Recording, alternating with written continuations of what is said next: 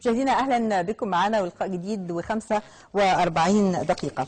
آه الحقيقة يعني هذه آه الأيام آه هناك حديث عن إن مصر بتتعرض لمؤامرة آه بعد آه آه مسألة سقوط الطيارة آه الروسية فوق آه آه شرم الشيخ في آه الجو وتحطم هذه الطائرة وما كان له من تداعيات على السياحة المصرية ورحيل أفواج من السياح أيضا في ذات الوقت كان هناك مشكلة سيول في عدد من المحافظات ما بين اسكندرية ما بين حتى أن هناك بعض المحافظات لم نسمع عنها أن كان في مشكلة لتكدس مياه الأمطار فيها من قبل مثل كفر الشيخ وما إلى ذلك أصبح فيها مشكلة البحيرة فيها مشكلة ارتفاع الأسعار هناك مشكلة.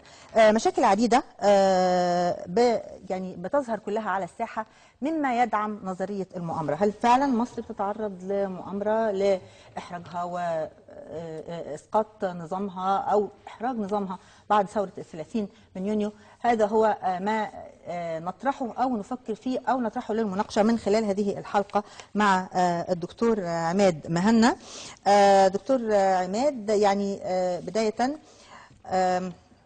برحب بيك أستاذ التخطيط الاستراتيجي والاقتصاد السياسي. أهلا وسهلا بيك. بداية نظرة على المشهد السياسي. نظرية المؤامرة ممكن تكون سهلة قوي. ان إحنا نقول في مؤامرة في مؤامرة في مؤامرة.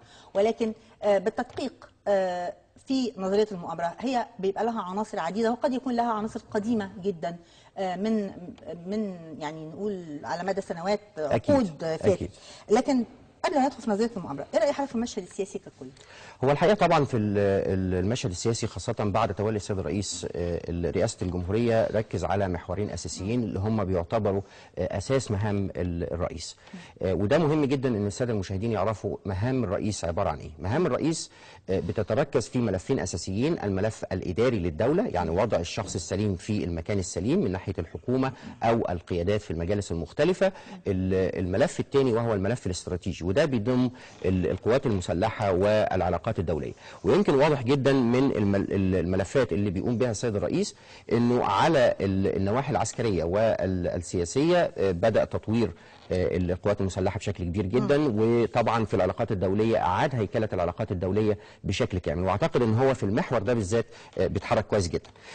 طبعا ده لا يخلو إنه مصر في ثورة 30 يونيو زي ما حضرتك اشرتي أفسدت المخطط العالمي لتقسيم الشرق الأوسط وأسقاط مصر والمخطط ده الحقيقة ما هواش وهم المخطط ده حقيقي واللي بنشوفه النهارده في ليبيا في اليمن في سوريا في العراق ما هو إلا تحركات كلها في نفس الاتجاه. بشكل مبسط خالص هو المخطط طبعا يمكن بدأ بشكل رسمي في 74 بعد الحرب بعد حرب 73 ويمكن لفت نظر المخططين في الدول الكبرى ان العرب باتحادهم يقدروا إن هم يعملوا قوة كبيرة جدا خاصة إن هم بيتحكموا في أكثر من 40% من الثروات الطبيعية. طب معلش أنا هعتذر عن يعني المقاطعة لكن عايزة أدخل على نقطة هي هعتبر لو إحنا قلنا إن هي العمود الفقري الكلي اللي إحنا بنتكلم فيه الأسعار.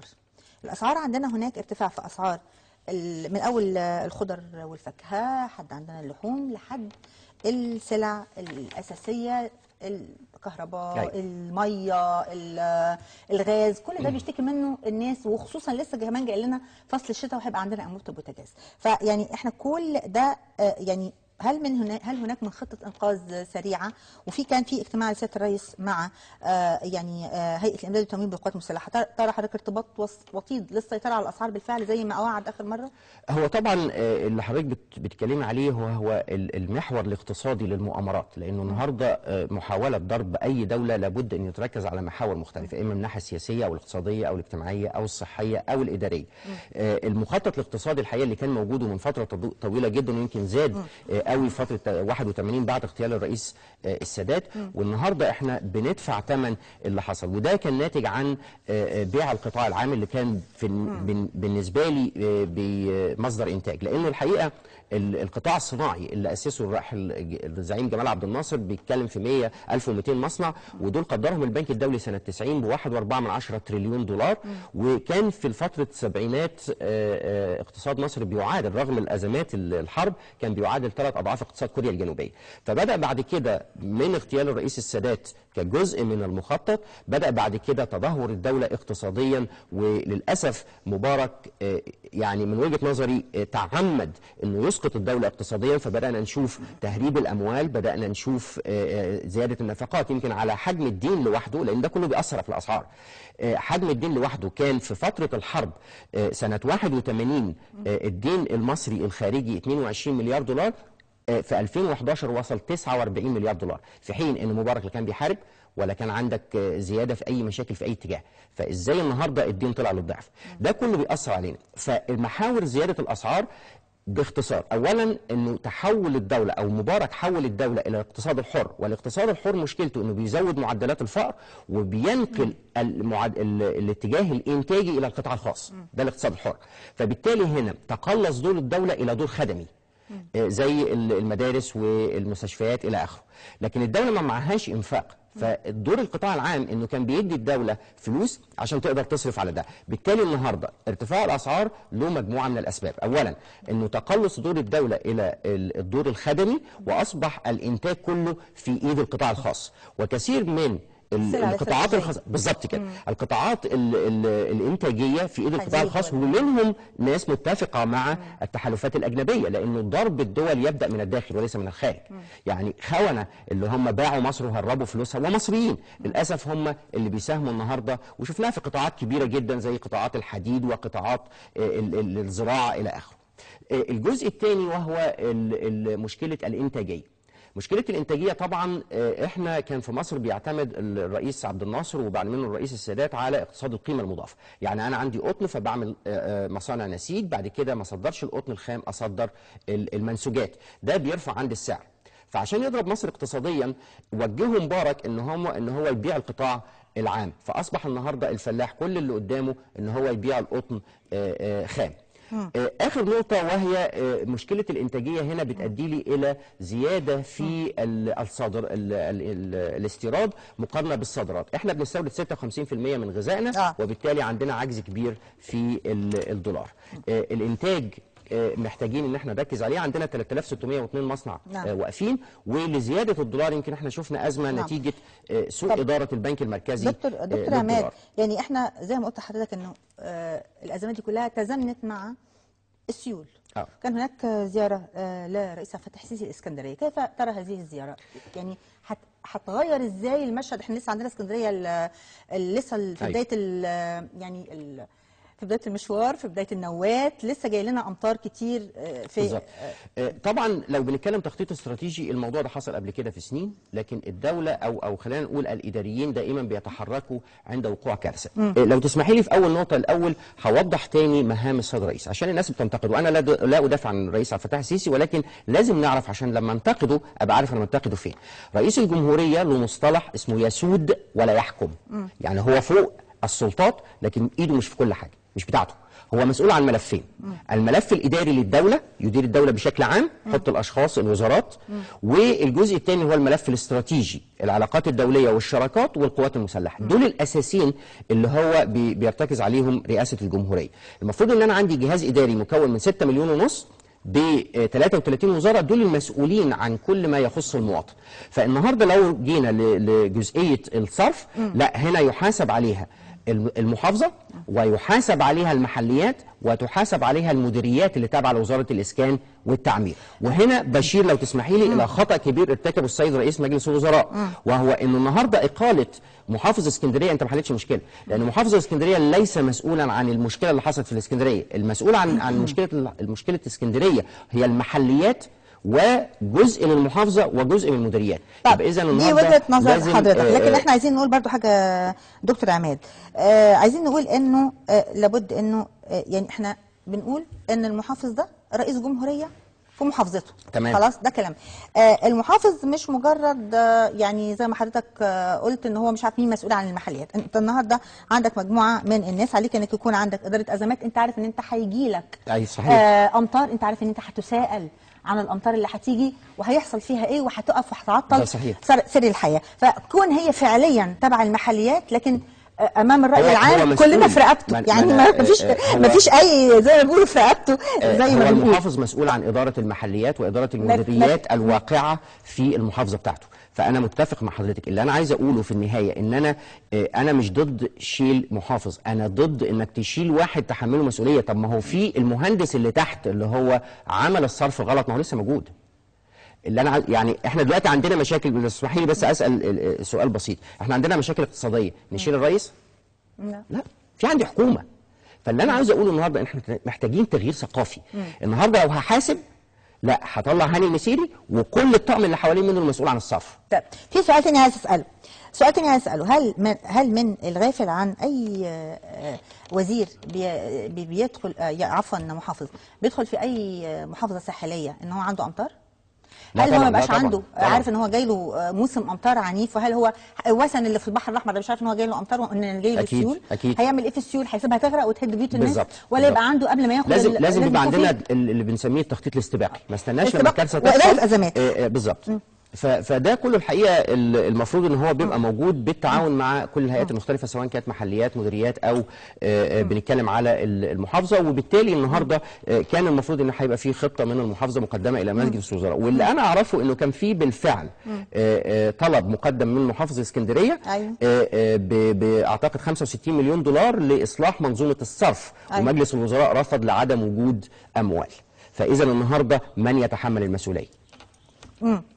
طيب إحنا آه، معانا آه، مراسلنا حمادة الشواتفي من شرم الشيخ.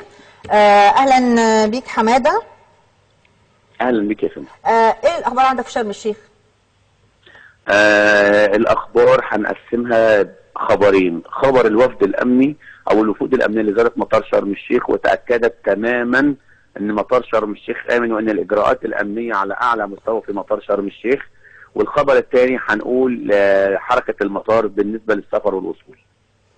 الصوت مش واضح. أنا مش عارفة أنا مش سامعة ولا هو الصوت مش واضح؟ ها؟ سامعاني كده يا فندم؟ آه،. سامعاني كده؟ أيوه اتفضل. تمام. هنقسم ال- الحركة بتاعه مطار شرم الشيخ النهارده. آه، كان في وفد آه، أمني بيتفقد مطار شرم الشيخ آه، منذ أمس. وفود أمنية من روسيا ومن إيطاليا وبعض شركات السياحة العالمية. وقد أشادت جميع الوفود الأمنية بالإجراءات الأمنية المتبعة داخل مطار شرم الشيخ الدولي. هذه الوفود جاءت للاطمئنان وعلى سلامة الإجراءات واتباعها للمنظومة الأمنية المتفق عليها دوليا هذه الوفود أكدت أن جميع الإجراءات المتبعة داخل مطار شرم الشيخ هي الإجراءات المتفق عليها ولا يوجد خلل في المنظومة الأمنية وهذا ما يؤكد كذب الادعاءات البريطانية بشأن أن المنظومة الأمنية في شرم الشيخ تحتاج إلى إعادة إجراءات. أما الوضع الثاني بالنسبة للسفر والوصول آه، هناك الطيران الإيطالي وهناك طيران من ألمانيا وصل بالفعل إلى مطار شرم الشيخ الدولي اليوم وأمس بلغ إجمالي عدد الوصول بالنسبة للسياح ال- الألمان حوالي 1600 سائح آه، أما بالنسبة للإيطاليين فحوالي نحو 1000 سائح بالإضافة إلى مجموعة من الدنمارك وأخرى من دول شقيقة مثل تونس والأردن والسعودية. وهذه بشائر خير بالنسبة للسياحة لأن السياحة الألمانية والإيطالية من السياحة الغنية والتي تع- تعتمد عليها مدينة شرم الشيخ في وقت سابق. آه لكن دعيني أؤكد لك أن هناك تخوف من قرار الرئيس الروسي بوتين بشأن عدم إرسال طائرات إلى م- مصر بالكامل وشرم الشيخ بصفة خاصة. دعيني أقول لك أن هناك حالة من التوحد بين القطاع السياحي بالكامل. الجميع على قلب رجل واحد. هناك دعوة من كل المستثمرين والشرفاء والعاملين في قطاع السياحة والفنانين والإعلاميين لزيارة شرم الشيخ وتأكيد أن شرم الشيخ آمنة. شاهدت بعيني سياح روس اليوم يقولون أننا لن لن نذهب إلا بعد قضاء إجازتنا. وسندعو أصدقائنا عبر رسائل عبر مواقع التواصل الاجتماعي على الفيسبوك والإنستجرام والواتساب برسائل طمأنة. وبالفعل السياح آه، يقضون أوقاتا سعيدة داخل منتجعات شرم الشيخ. آه نعم. يعني آه اذا آه يعني بص حمادة يعني إحنا عايزين نعرف الحركة يعني حركة الحياة في مدينة شرم الشيخ. الناس في الشوارع الروح المعنوية. شكل المدينة بوجه عام بعد تعليق رحلات آه الطيران وما بين الناس اللي بتبيع وبتشتري وهي بتتعامل. هل ده ليه تأثير سلبي أم إنه شكل الحياة آه إزاي في شرم الشيخ؟ آه، الحقيقة إن آه، لما الرئيس الروسي أصدر القرار بتعليق الرحلات الجوية إلى مصر يعني انتابت آه، كل المو... كل المواطنين وكل العاملين وكل المستثمرين حالة من القلق والريبة خشية ضرب الموسم السياحي رأس السنة اللي هو الكريسماس. ويعني الجميع قال أن هناك أن قطاع السيا- السياحة سيشهد انهيارا. لكن رأيت بعدها ب- بيوم أو يومين ال- الروح المعنوية مرتفعة جدا لجميع المستثمرين. منهم من بادر وقال أنني سأقوم بتأجير المحلات والبازارات بالمجان دعما للسياحه ومنهم من أطلق حملات على الفيسبوك وعلى اليوتيوب لدعم السياحة المصرية. وهناك دعوات لكل الفنانين وكبار الشخصيات العالمية لزيارة منتجع شرم الشيخ بالمجان من أجل تنشيط حركة السياحة. بالإضافة إلى أن هناك دعوة أيضا لتنشيط السياحة الداخلية. أعتقد أن الرئيس أن وزير السياحة هشام زعزوع قد أعلن هذه المبادرة أمس لكن سبقه رجال أعمال شرم الشيخ الشرفاء وطالبوا وقالوا أن هناك أسعار رمزية للمصريين في أعياد الكريسماس وفي أجازة نصف العام لتشجيع السياحة، لكن دعيني أقول لك أن وجود الألمان والإيطاليين داخل منتجعات شرم الشيخ بهذه الأعداد رغم هذه الظروف التي قيل أنها مؤامرة ومدبرة لهدم القطاع السياحي في مصر هو مؤشر لنجاح المنظومة الأمنية ومؤشر كبير لعودة السياحة الألمانية والإيطالية إلى مصر. نعم. آه، آه، محمد الشهادفي بنشكرك شكرا جزيلا. آه، ومعانا على الهاتف أستاذ سامي محمود رئيس هيئة تنشيط السياحة. أهلا وسهلا بحضرتك. أهلا مساء الخير. أهلا وسهلا. أهلا بك يعني الحقيقة هذه الأيام وهذه الظروف لابد أن يكون على آه، رأس آه، يعني الحديث عن السياحة هيئة تنشيط السياحة. إيه الدور اللي بتقوم بيه في هذه الظروف الصعبة هيئة تنشيط السياحة؟ وأكيد لابد أن يكون دور مختلف عن كل ما فات آه، في السابق. والله كان في اجتماع للجنة الأزمات مع الدكتور هشام زعزوع وزير السياحة بالأمس وبحضور السيد رئيس الاتحاد المصري للغرف السياحية ورؤساء الغرف. وخطة التحرك اللي اتكلمنا فيها بتشمل عدة جوانب، الجانب الأول هو إن إحنا بنروج بالسياحة الداخلية من خلال مبادرة اسمها مبادرة مصر في قلوبنا للسياحه الداخلية هتحل ولو جزء آه، بسيط من مما يترتب عليه الغاء لبريطانيا وروسيا لرحلات على مصر. فده جانب، الجانب الآخر وهو السياحة العربية. وخصوصا إن السياحة العربية بتنشط خلال فترة أجازة منتصف العام. فاحنا بصدد اطلاق حملة دعائية بمنطقة الخليج ودول المغرب العربي اللي جذب أكبر عدد ممكن من السائحين العرب إلى القاهرة وشرم الشيخ.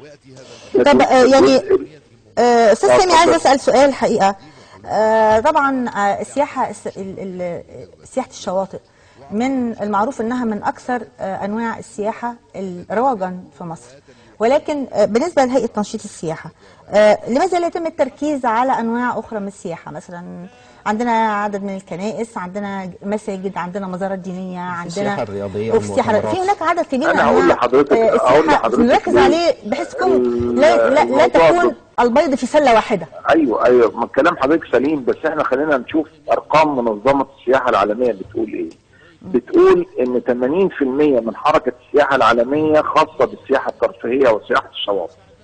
كل أنواع السياحة اللي حضرتك بتتكلمي عليها سواء من سياحة ثقافية أو رياضية أو مؤتمرات أو حوافز أو غيره بتتراوح ما بين 15 إلى 20% وده اللي خلى السياحة المصرية حصل فيها طفرة، إحنا كنا الأول في الثمانينات وبدايه التسعينات كنا بنعتمد على السياحة الثقافية والأنواع الأخرى من بس ما كانتش بتجيب الأعداد اللي إحنا وصلنا لحوالي 15 مليون بنهايه 2010 فسياحه الترفيه مهمة جدا ليست لمصر ولكن باقي دول العالم. لكن إحنا لا نهمل هذا الجانب لأنه مش مجرد أعداد ده بيعتبر ده هاي اند يعني اللي بيصرفوا أحسن هم اللي بيجوا السياحة الثقافية أو سياحة السفاري أو السياحة الرياضية. أنا متفاهمين هذا. لكن إحنا في ظروف كان بتحتم علينا لازم نشغل البحر الأحمر لأنه في أكثر من 150 ألف غرفة. البحر الأحمر والغردقه وشرم الشيخ بيحتكروا أكثر من من 68 ل 75% من حجم الغرف اللي موجودة في مصر. نعم. فكان لازم علينا إن إحنا نجلب يعني آه، أكيد يا-. آه، آه، أستاذ سامي أنا لا أنكر إن إحنا علينا إننا نركز على سياحة الشواطئ وإنها موجودة عالميا وإنها بتجد رواج لكن أنا بتذكر إن إحنا كان عندنا في ناس تيجي تتفرج على أم كلثوم وبتتفرج على عبد الوهاب وعلى فريد الأطرش وعلى عبد الحليم. عندنا أنواع أخرى من السياحة عندنا فنانين عندنا سينما عندنا يعني أعتقد إن هي جوانب أخرى ولا علينا ألا نضع البيض في سلة واحدة. هذا ما أذكره وليس تقليلا على الإطلاق من شأن السياحة الترفيهية السياحة العربية؟ السياحة العربية بت... السياحة العربية بيحبوا ال entertainment أو الترفيه وبيجوا عشان اللي حضرتك بتقولي عليه عشان الاستمتاع بالموسيقى والمسرحيات ال... وال... وال... والحفلات المصرية. لكن الأجانب بيميلوا بالصفة ال- الغالبية العظمى بتميل لسياحة الترفيه اللي هو ال sun and أو الشواطئ. نعم. وال diving وال water sports والحاجات دي كلها. فاحنا بنشتغل على الاثنين. وبعدين في مثل يقول لك اللي تكسبيه العبي العبي العبيه يعني. فده اللي إحنا بنقدر نعمله في الفترة أحيانا اللي إحنا بنكسب بيه بنخسر بيه برضه. آه على كل الأستاذ سامي محمود رئيس هيئه تنشيط السياحه شكرا جزيلا لك. نتمنى لكم كل التوفيق. و آه، معانا فاصل.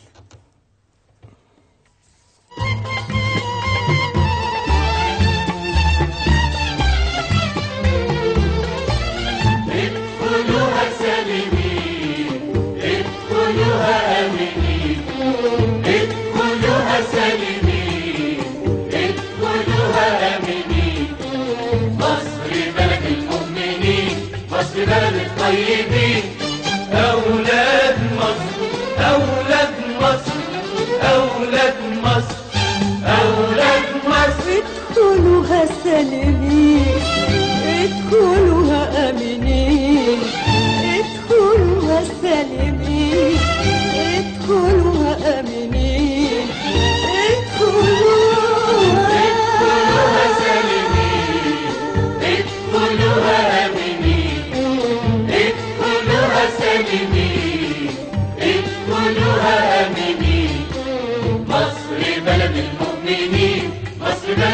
بلد الطيبين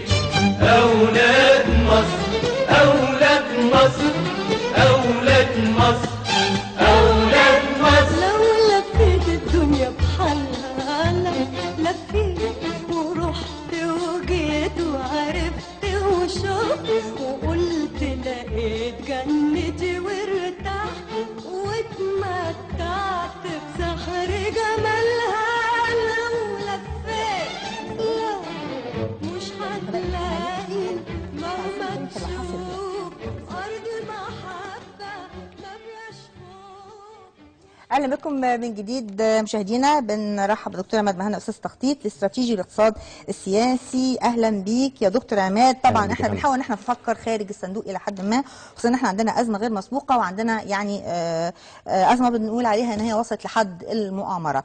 اولا المشهد السياحي هل المشهد السياحي في مصر يمكن إنقاذه بالسياحة الداخلية؟ وإن كان سبق لنا أزمات أشد من كده ومصر تجاوزتها بمجرد مجموعة من الأفكار البسيطة جدا.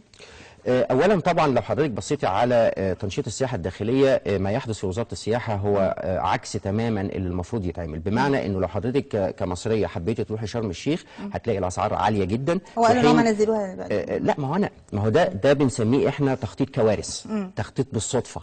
ما تنزلش الحاجة لما يحصل كارثة.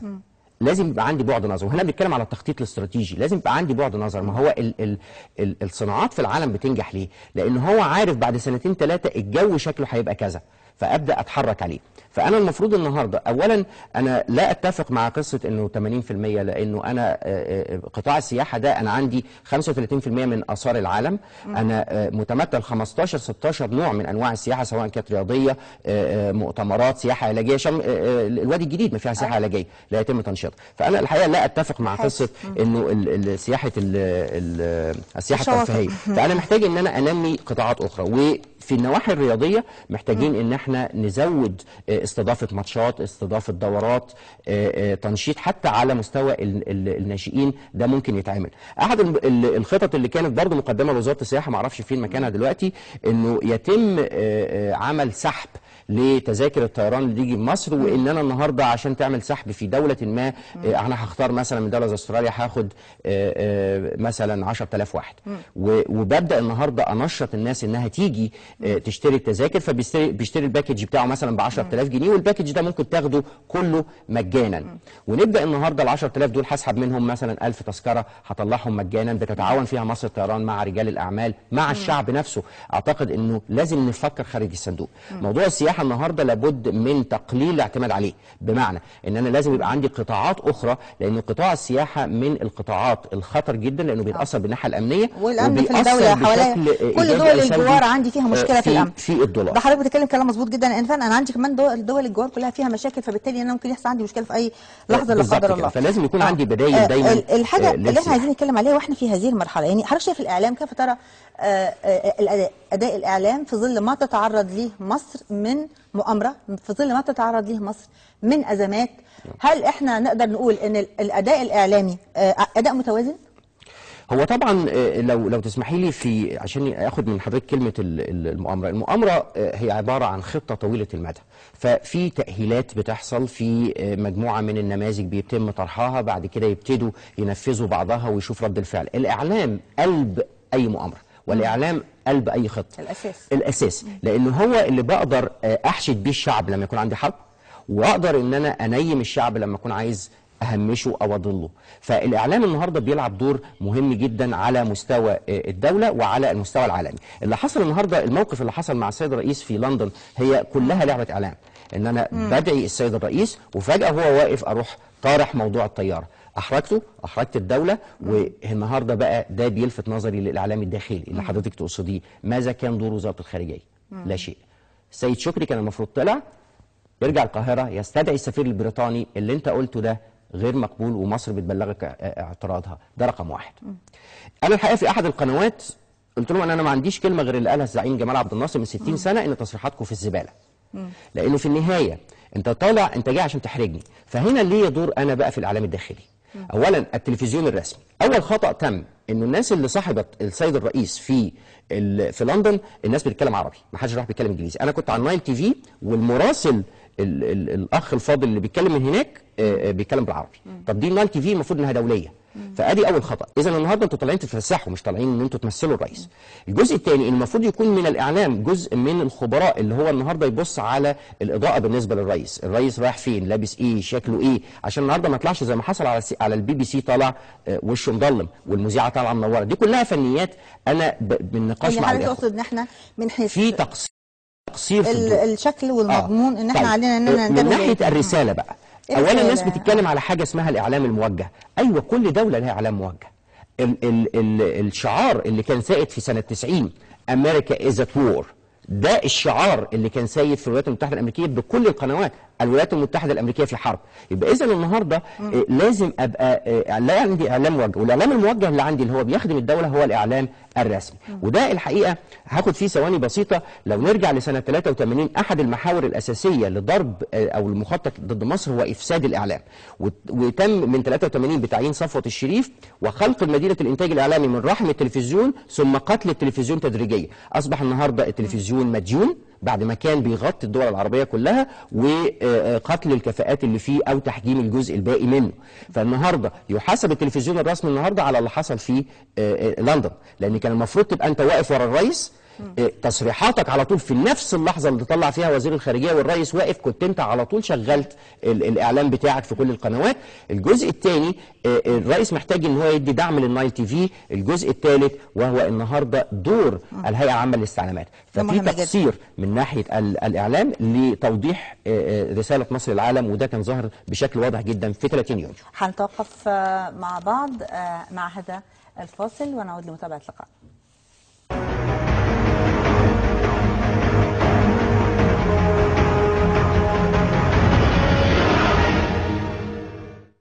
في ظل ما تتعرض له مصر من مؤامرات دولية معلنة بات على كل وسائل الإعلام الوطنية أن تنحاز لكل قضايا الوطن بعيدا عن التعاطي مع الشائعات والأخبار المغلوطة التي تستهدف شق الصف الوطني. على كل وسيلة إعلامية النهارده أن ت- تسعى لحشد الجماهير وتعبئة هذا الشعور الوطني بالضيق والكراهية لما هو مؤامرة إلى طاقة فاعلة. الطاقة الفاعلة أنا عندي عشرات المبادرات الإيجابية.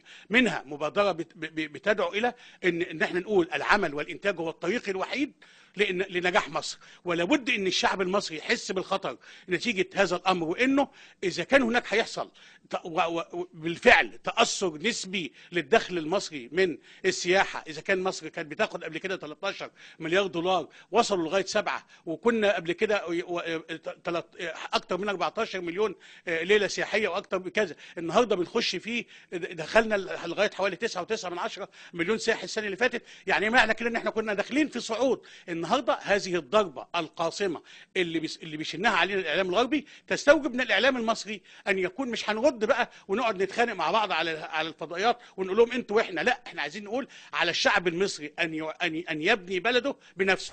التآمر المعلن على ضرب قطاع السياحة مؤخرا يستدعي من كل أبناء المهنة تبني حملات إعلامية مكثفة لدعم الاقتصاد والقطاع السياحي على وجه الخصوص. ما يحدث في مصر كما تفضلت هو مؤامرة ومؤامرة دولية على الاقتصاد المصري عموما وليس على السياحة فقط وعلينا كإعلاميين ومؤسسات إعلامية قومية ومستقلة وتلفزيون أن نقدم مبادرات لدعم السياحة الداخلية ودعوة المصريين في الخارج والداخل لقضاء أجازاتهم في مصر وأن نعتمد على أنفسنا وأبنائنا. مصر لها عشرة مليون مصري في الخارج. إذا كان 50% سي- سيمرون بأجازاتهم في مصر فسيعوضنا الكثير عن هذه المؤامرة التي تحاك بليل ضد مصر وضد سياحتها وضد مقصدها السياحي كما يعني عطفا على حادث الطائرة التي تحدث في كثير من مواقع العالم. ويبقى على كل العاملين في الحقل الإعلامي مسؤولية وطنية في تخصيص مساحة لإلقاء الضوء على مؤهلات مصر الاقتصادية والتنموية حتى نتجاوز هذه المرحلة.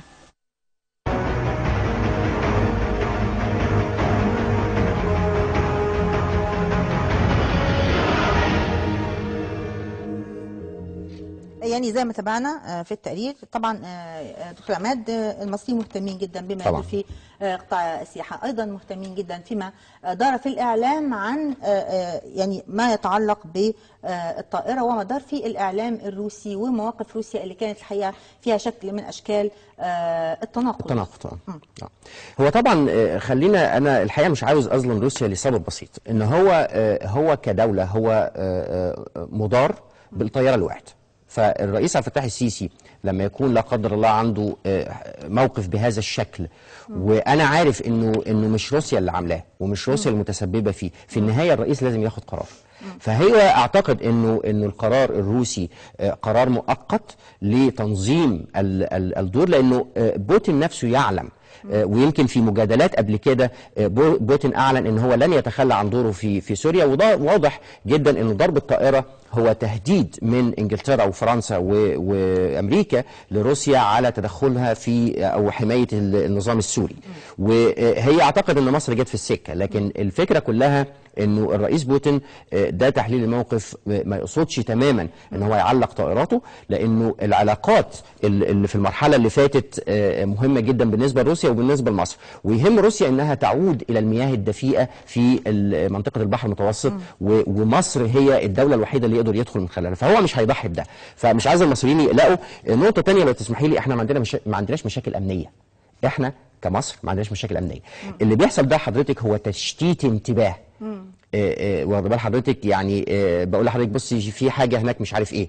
فهو تشتيت انتباه للمصريين بنفقد إحنا التركيز على اللي إحنا بنعمله. إحنا دلوقتي بنتحرك في نمو اقتصادي. الرئيس بيتحرك في مشروعات قومية هناك عشان بي بي بيعيد صياغة شراكات تجارية وعلاقات دولية فبيشتت انتباهه. بيفقد الشعب الثقه فيه عشان كده النهارده مهم جدا وأنا أشكر القناة الثانية قطاع الأخبار على الحلقة لأنه مهم جدا إن الناس تعرف إيه هو دور السيد الرئيس و و ولو تسمحي لي هاخد النقطة دي تاني لأنه هنا بيرتبط مع دور الإعلام. آه، الناس لازم تعرف إنه السيد الرئيس مهمته ملفين أساسيين الملف الاستراتيجي بالعلاقات مع الدول وتواجد الدولة وقوتها والملف الإداري إن هو يحط الشخص السليم في المكان السليم. وده دور السيد الرئيس في المرحلة اللي جاية. حضرتك محتاج آه، اتنين مساعدين؟ عشان يشيلوا عنك الحمل مش هتنفع مش هتفضل تشتغل لوحدك أكيد. و و هو- والإدارة بتاعة الدولة. فناحية الإعلام الحقيقة في المرحلة اللي جاية آه، آه، يعني بدون شك سيتم هيكلة الإعلام بسياسة جديدة. اللي إحنا سمعناه دلوقتي إنه هيتم وضع سياسة جديدة وأساس هذه السيا- السياسة هي التثقيف السياسي والاقتصادي والاجتماعي للمواطنين عشان يبقوا على علم تام لأن هو ده بتحركات ضمن أساس الدولة. ال- اللي إحنا أنشئ من اجله الإعلام. آه إحنا هنشوف برضو ما زلنا مع موضوع الطيارة الروسية هنشوف آه آراء المواطنين حول هذا الموضوع من خلال التقرير الآتي.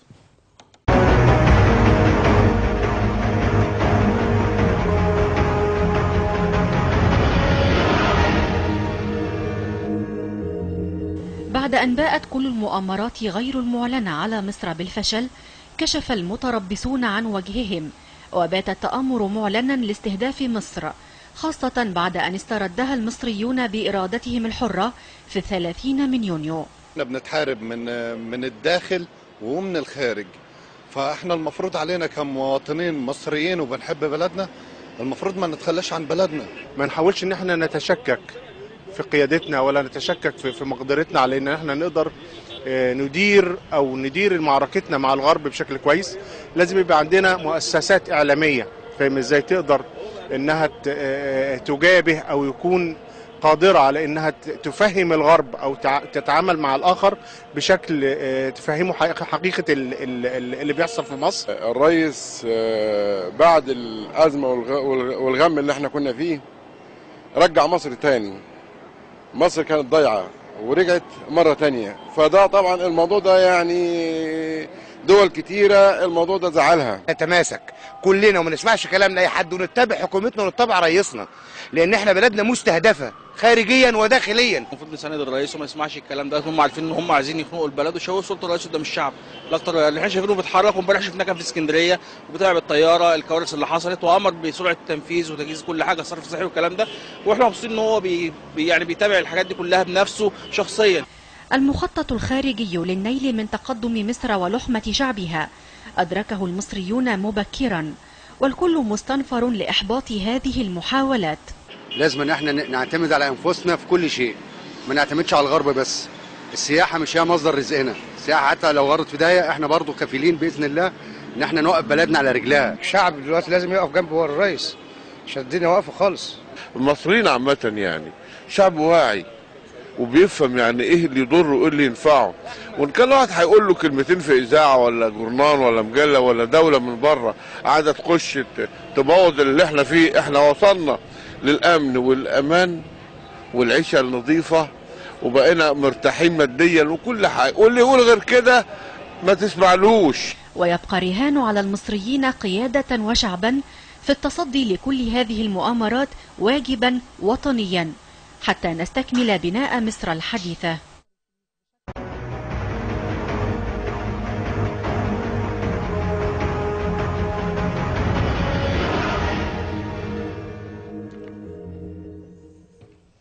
آه، دكتور عماد بنرحب بيك مرة جديدة. ويعني في الفاضل من البرنامج في سؤال مهم جدا بيطرح نفسه.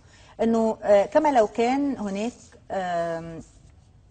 مش هقول مؤامرة ولكن هناك توجه لترويع الشعب المصري. نعم. توجه لإنه يحس إن عنده مشكلة من كذا جهة زي ما قلنا سيول على طيارات على سياحة. كما لو كنا إحنا من غير السياحة هنموت مثلا. لأن طبعا مع كل الاحترام للي بيشتغلوا في قطاع السياحة هو- دي هو قطاع الاقتصاد مهم. المصري اقتصاد بيعي للأسف والناس ما آه، بتطوعش. آه، الحقهم البورصة آه، الحقهم مش عارف إيه. نعمل إيه علشان إن إحنا نقدر في هذه المرحلة نقدر وإحنا اهو الإعلام هو بيقول أهو وحدة الجبهة الداخلية وإن الصف إن إحنا نعتبر نفسنا في حرب حقيقية وعلينا ان يكون صف واحد. آه. كيف يكون هذا؟ هقول لحضرتك ال- في نقطتين أساسيين. النقطة الأولانية آه، آه، ما هي إدارة الدولة؟ إدارة الدولة عبارة عن هرم آه، يقع في قمة هذا الهرم آه، الرؤية السياسية ثم الشريحة الوسطى هي كفاءة المنفذ والشريحة الدنيا هي رؤية شعب. يعني لما عشان أدير دولة ويبقى عندي تماسك يبقى عندي رؤية قيادة كفاءة منفذ إرادة شعب. الجزء بقى عشان أطبق ده بيدخل على الجزء الثاني إيه اللي الرئيس محتاج يعمله والحكومة محتاجة تعمله في المرحلة الحالية. زي ما أنا آه، اقترحت السيد الرئيس محتاج إن هو اثنين ثلاثة مساعدين يشتغلوا معاك رقم واحد. الحكومة تبدأ تشتغل على الملفات بتخصصية وتركيز أكتر. النواحي السياسية هي المهم وهنا هقدر أسيطر عليها من خلال الإعلام إن أنا أثقف الناس وأوضح لهم ال- ال- المؤامرات. بناء الدولة بناء الدولة يكون من الداخل وليس من الخارج. مم. يعني أنا لو عايز أبني الدولة صح ما أبدأش بالعلاقات الدولية وأسيب الدولة جوه بايظة. لازم أبدأ من جوه. وده اللي عمله الزعيم جمال عبد الناصر إن هو بنى الدولة من جوه فكانوا بيخافوا منه بره. ده بالظبط اللي إحنا محتاجينه. فأعتقد إن السيد الرئيس محتاج إن هو يركز على الجبهة الداخلية الإنتاج الإنتاج الإنتاج. والنهارده محتاج الكفاءات اللي تتحط وعايز أقول للساده اللي هم بيختاروا آه، آه، ده عشان في شباب كتير وكفاءات زي ما آه، احد المشاهدين كان بيتكلم على في آه، 10 مليون مصري بره مفيش حاجة اسمها ك- حاجة اسمها خبرة في العصر الحديث في حاجة أيوة. اسمها فكر أيوة. الرئيس عبد الفتاح السيسي محتاجه عشان يبني مصر محتاج إن هو يركز على بناء مؤسسات ومحتاج ناس تكون معاه عندها فكر. بس آه، إحنا يعني آه، كل اللي هقدر أقوله قبل ما أختم إنه كان في آه، موجة من الترويع على آه، يعني مواقع التواصل الاجتماعي وف... وأنا دهشت جدا من كل هذا الترويع من أجل آه، يعني ده ما حدث هناك طبعاً بعض الطوائف ومصر الشامت. مرت بأكثر من آه. ذلك بكثير جدا ومصر لا دي- حرب لا. تهدمها آه. لا تهدمها مجرد طيارة ولا يهدمها مجرد تأمرات لأنها تعرضت وهي في سنين قبل كده لاكثر من ده بكثير آه، المصريين أمة وليسوا ليس شعب. آه، علينا أننا نؤمن بقوتنا من الداخل. آه، بنختم بنشكر في ختام هذا اللقاء الدكتور عماد مهنا أستاذ التخطيط الاستراتيجي والاقتصاد السياسي. شكرا جزيلا ليك. شرفتنا. بنشكركم مشاهدينا. بكرة إن شاء الله أسرة عمل جديدة 45 دقيقة. إلى اللقاء.